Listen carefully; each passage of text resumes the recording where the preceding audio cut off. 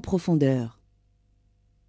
Le réglage en hauteur sera fait si besoin est en vissant ou dévissant la vis supérieure à l'aide d'un tournevis cruciforme.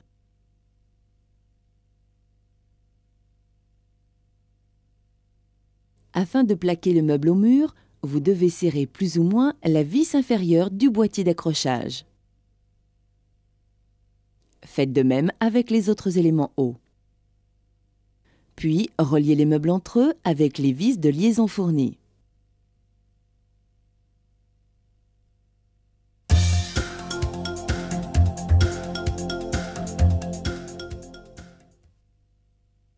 Les charnières des portes se règlent horizontalement et verticalement en desserrant les vis, en faisant coulisser les charnières, puis en resserrant les vis. Ajustez-les jusqu'à ce qu'elles ferment parfaitement.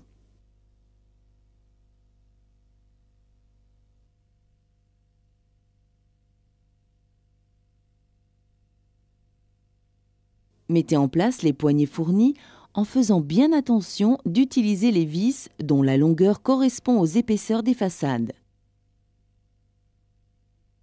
Si les trous des poignées de vos portes n'ont pas été percés, percez-les aux endroits adéquats en fonction des poignées que vous avez choisis. Utilisez une chute de bois pour éviter les éclats lors du percement.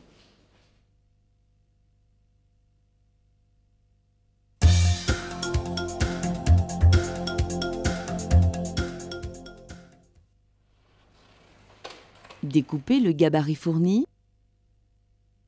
ôtez le plastique de protection. Positionnez le gabarit sur le plan de travail et repérez son centre par un trait sur la tranche. Pour éviter de rayer votre plan de travail, nous vous conseillons de le retourner.